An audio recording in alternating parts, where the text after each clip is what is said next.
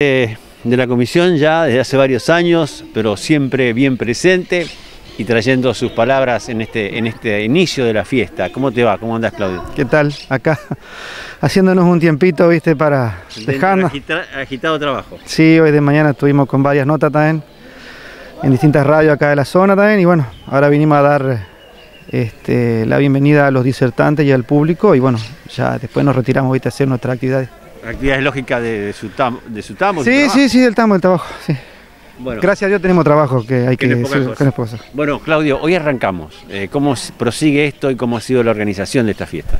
Bueno, a diferencia de otro año, creo que este fue el año que más fácil la hemos organizado, este, porque surgieron los temas muy rápido, el lema salió rápido porque, aunque no parezca a la gente, pero el lema nos lleva mucho tiempo porque siempre queremos que sea un lema que nos englobe a todo y que deje un mensaje y, que sea dentro de todo corto, resumido, para que pueda este, memorizarse y, adaptarse a las circunstancias. Pero este año, bueno, se dio todo así, una vez tenía que darse de, esta manera y bueno, las charlas fueron propuestas y como decía de mañana la entrevista, eh, de nuestra parte, o sea, mía y de muchos de los que integramos la, fiesta de la conservación, nosotros no nos fijamos una postura con esto, sino que invitamos a todas las voces, ¿viste? para que expresen sus su posturas y que después cada uno de los ciudadanos este, saque sus propias conclusiones y, tome lo mejor de cada charla. El gran cambio es esto, por ejemplo, lo de hoy, este comienzo con una charla a la siesta con los chicos de las escuelas. Claro, sí, porque esta charla este, está más pensada en el ámbito educativo, es abierta para todo público, obviamente, pero surgió de parte de la docencia de ambas escuelas, este, de la primaria y secundaria, este, como para incentivar eh, eh, en los chicos lo que la parte, que vean un poco la parte de, economía global acá de la provincia y cómo influyen este, las grandes eh, corporaciones en las decisiones que tomamos día a día. por eso se han invitado a escuelas vecinas que han venido, me alegro muchísimo que hayan venido acá de acá de la zona, así que me pone muy contento ver todos los chicos.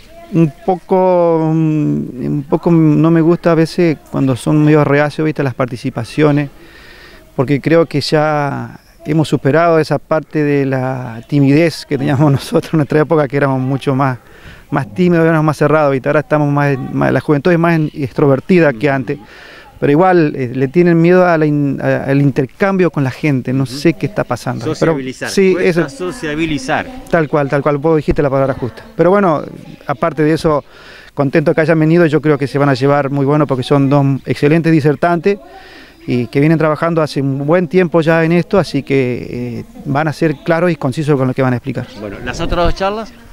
Bueno, las otras dos charlas van a ser ahora en junio, eh, el 11, que viene este, el ingeniero Indelangelo, que va a dar sobre agroecología a gran escala.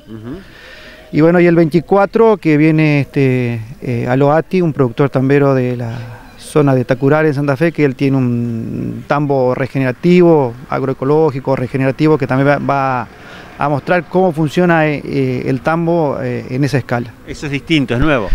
Lo que pasa es que se están viendo nuevas tendencias. Como en su tiempo fue la siembra directa un boom, ahora estamos volviendo más a lo natural, a lo agroecológico.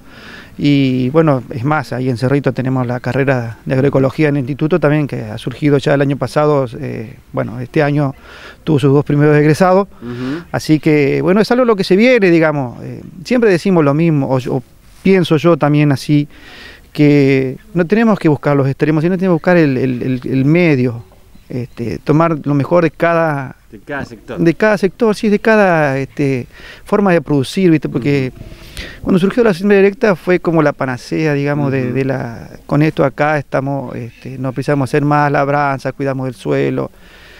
Y bueno, la naturaleza es sabia, si ha estado tantos millones de años las plantas, van a seguir estando por más que, nosotros queramos eliminarla con un herbicida, digamos. Van a encontrar la forma de sobrevivir, porque esa es la esencia. El ser humano es igual. Nosotros, eh, nosotros tenemos que eh, quedar para la posteridad. Eh, mueren algunos, pero algunos siempre este, sobrevive y ese es el que mantiene viva la especie. Es así, bueno. Eh, tenemos que entender que la naturaleza es así, no lo vamos a controlar con un solo herbicida que va a ser la panacea. Bueno, nos hemos dado cuenta, nos hemos pegado un porrazo, este, ahora este, hay muchos cultivos que son este, resistentes y bueno, el abanico de controles químicos va disminuyendo, o sea, no es fácil encontrar una nueva molécula que contenga este, el poder de controlar todas las malezas. Entonces hay que volver un poco a lo natural también, porque si nuestros abuelos producían también, tal vez a menor escala, pero producían y subsistían, creo que tenemos que con tanto conocimiento adquirido ya podemos llegar a un, a un mix de, técnicas que nos permitan continuar con la producción sustentablemente. Y además ese porrazo nos mostró que nos equivocamos y que hemos generado mucho daño. Claro, obviamente, cada golpe nos enseña y importante es aceptar la enseñanza y, detener un poco la marcha y ver y tratar de buscar otras direcciones. Eh, el INTA está trabajando de manera excepcional en muchos temas, en muchas áreas y siempre van este, probando e innovando, eh, así que si los técnicos prueban y evalúan las cosas y funcionan a, nivel este, campo, eh, va a seguir funcionando. Eh, nosotros, por más que querramos este, inventar la pólvora, ya fue inventada, no hay mucho para, para hacer, pero la producción si es sustentable y en armonía con el medio ambiente va a seguir estando. Claudio, no te roba más tiempo, tenés que ir a trabajar. Te agradezco tu tiempo. No, gracias a vos, Sergio, y bueno, está Altano también acá y a todos los, colegas tuyos que siempre se hacen eco de, esta, de estas actividades que realizamos acá y, nos dan la posibilidad de, ahora ya con la tecnología, llegar a tantos lugares en el planeta.